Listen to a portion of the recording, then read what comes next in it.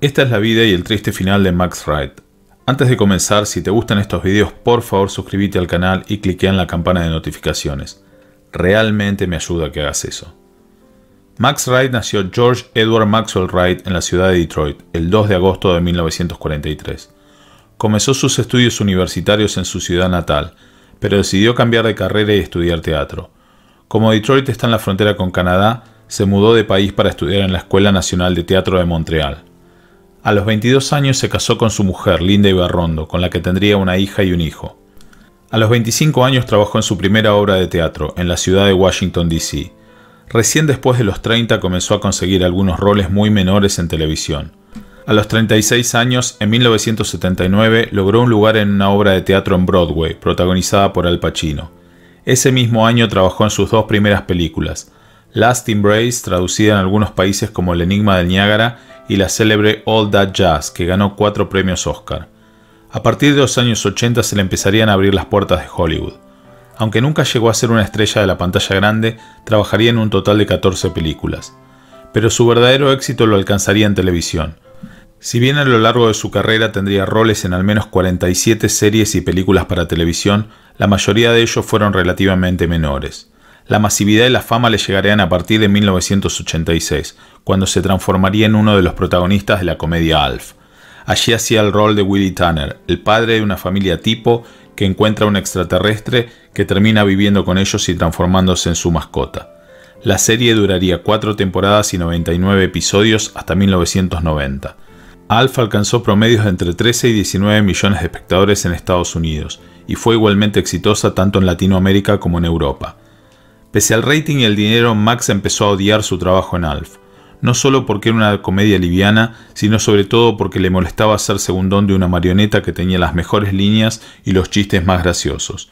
Estaba tan ansioso porque la serie terminara que cuando se terminó de grabar el último episodio, agarró sus cosas y se fue sin despedirse de sus compañeros de elenco, luego de cuatro años de trabajar juntos. En 1995 se le diagnosticaría linfoma, que fue tratado con éxito y permaneció en remisión durante más de dos décadas. Si bien luego de Alf continuó su carrera televisiva en los 90, generalmente fueron roles menores. Su único papel significativo y con continuidad fue en la comedia El Show de Norm, en la que participaría en 49 episodios entre 1999 y 2001. Sin embargo, siguió haciendo teatro, que era lo que más amaba. En apariencia, Max parecía tenerlo todo, un matrimonio bien constituido, dos hijos, una carrera exitosa, dinero y fama. Sin embargo, en su intimidad las cosas estaban empezando a entrar en una espiral descendente que sería imparable. En enero de 2000 fue arrestado bajo sospecha de conducir en estado de ebriedad. En 2003 fue arrestado otra vez por la misma razón. Ese mismo año su esposa lo echó de su casa luego de 38 años de matrimonio.